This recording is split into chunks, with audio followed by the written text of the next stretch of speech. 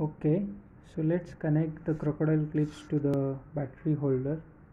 Uh, we have to remove the cap from one of the uh, one of the cap from crocodile clip.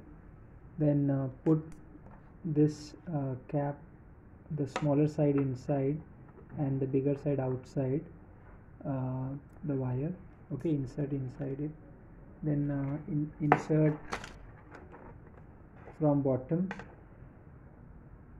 the metal part of the wire okay on top get it on from on the top like this and then put the cap on top so that it will fix. Similarly black crocodile clip remove the cap put inside the wire and again from bottom